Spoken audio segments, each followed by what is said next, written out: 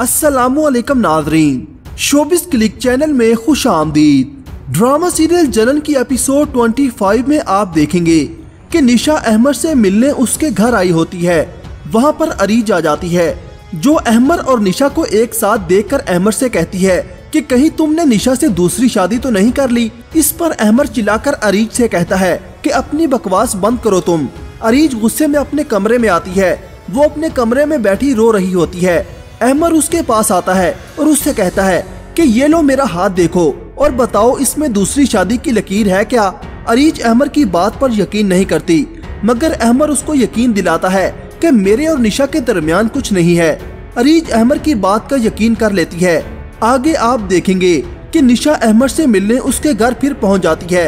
अरीज निशा से कहती है कि तुम क्यों बार बार अहमद से मिलने चली आती हो? वो तुम्हें भूल चुका है। इस पर निशा कहती है कि भला इंसान अपने दिल से अपनी पहली मोहब्बत मिटा सकता है क्या?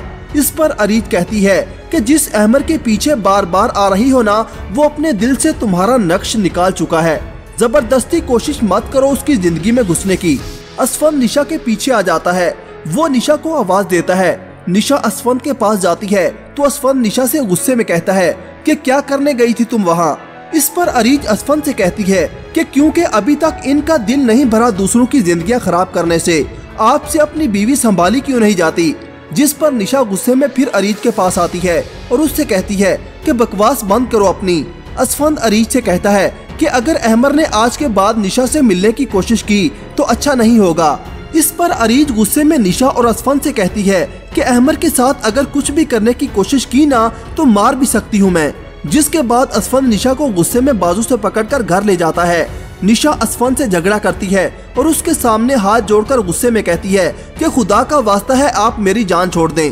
इस पर असफन गुस्से में उसके हाथों को पकड़कर कहता है कि किसके लिए छोड़ दूँ? बताओ मुझे। मैं तुम दोनों का वो हशर करूँगा, जो पूरी दुनिया याद रखेगी। निशा गुस्से में अपना सामान पैक करती है। उधर अहमर अरीज को घुमाने लेकर जाता है। जब अहमर और अरीज घर वापस आते हैं तो निशा उन दोनों को देखकर खूब जलती है। उधर निशा के वालिद की वफात हो जाती है। निशा की वालदा बहुत रोती हैं, चीखती हैं, चिल्लाती हैं। निशा को कॉल आती है कि उसके वालिद की डेथ हो गई है।